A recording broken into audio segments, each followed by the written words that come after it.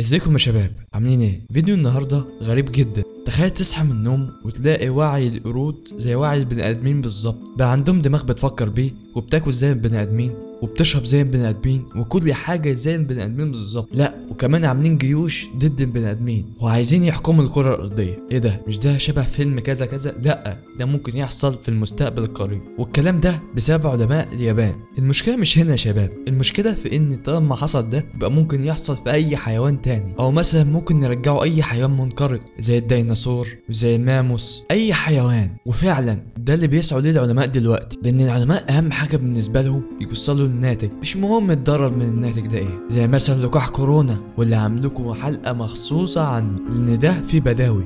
خلينا في موضوعنا النهارده يا شباب. بلاش نتكلم كتير ويلا بينا نبدأ. وقبل ما نبدأ صلي على النبي. عايزين الفيديو ده يوصل 50 like. الفيديو اللي فات معرفوش توصلوه 100 like عشان كده قلت خلي الفيديو ده 50 like حاجة سهلة عليهم. ودوس اشتراك عشان نوصل 10000 في أقرب وقت. وهانت يا شباب على ال 2000 وبالنسبه لل SCP فانا ان شاء الله فيديو بكرة هيكون عن SCP. ويلا بينا نبدأ عشان ما أطولش عليكم.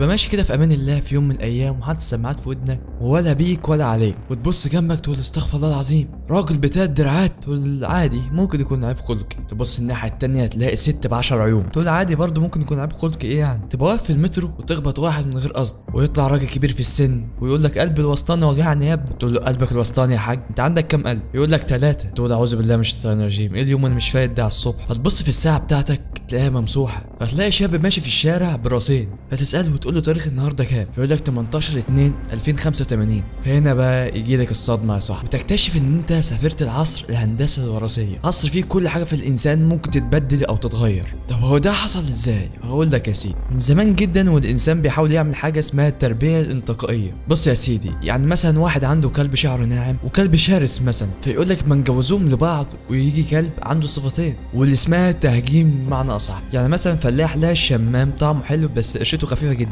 والقرع العسل قشرته تخينة بس طعمه وحش جدا. قال لك طب ما نجوزهم فيطلع لنا الكنتالوب وزمان ما كانش في حد عارف ده بيحصل إزاي ولا ليه بيحصل لغاية ما اكتشفنا ال DNA الحمض النووي. ال DNA بتاعك معمول بحاجة اسمها bases أو بشكل أبسط شوية حروف كده. يعني لما أجيب كائن وتغير كام حرف من الحروف بتاعته بيطلع لك كائن تاني خالص. من زمان جدا والناس بتحاول تعمل ده.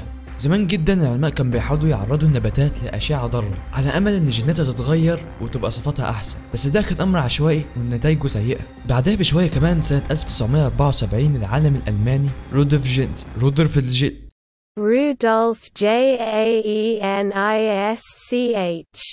هو ده. الراجل ده يعمل لنا فار معدل جينيا والفار ده يتعمل عليه آلاف التجارب وينقذ حياة الملايين. وبعدها في 1974 أول منتج معدل جينيا نزل السوق وكانت طماطماية. الطماطماية دي كان بتقعد صلاحيتها أكتر بكتير من الطماطم العادية. وساعتها دي كانت حاجة مبهرة. وبعدها كان في أدوية كتير جدا بتتعمل من الجينات زي مثلا زي الأنسولين. كنا لازم نجيب حصان وناخد منه انسولين ونديه للمريض. ودي كانت عاملة عقدة نفسية لحقوق الحيوان. دلوقتي بسهولة جدا ممكن نعمل انسولين من الجينات. كل ده جميل جدا ومبهر بس للأسف بياخد فلوس كتير جدا وبياخد وقت أطول. لحد ما ظهرت حاجة اسمها CRISP CRISPR. CRISPR.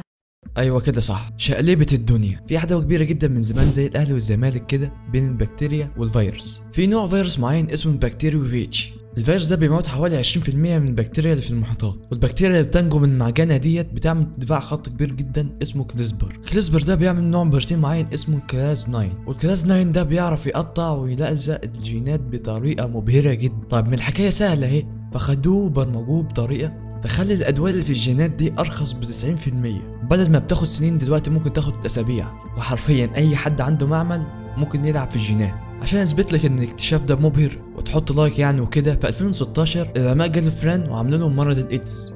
من شهور فاتت والناس كلها في غفلة بسبب كورونا علماء اليابان عملوا تجربة محرمة. واللي ساعدت العلماء دي الصين. واللي زادت الطين بلة إن راح علماء من أمريكا وإسبانيا لهناك. في الصين يعني عشان يعملوا التجارب دي.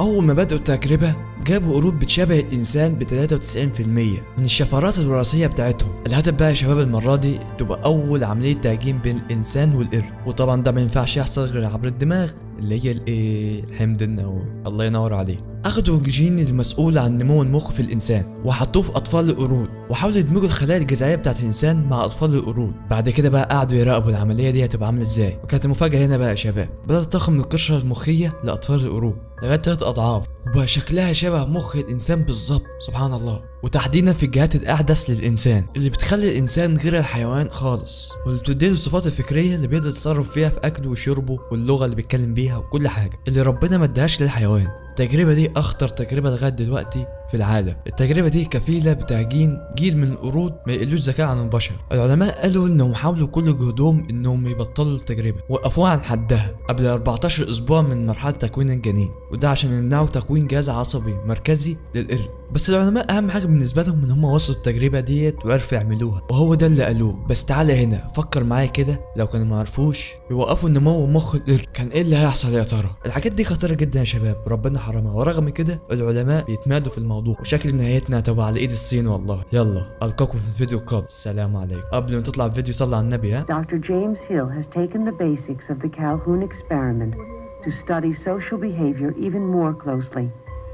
In his experiment, rats are used instead of mice. Healthy individuals are selected to start the population. The rats are anesthetized so that Dr. Hill can perform a minor operation necessary.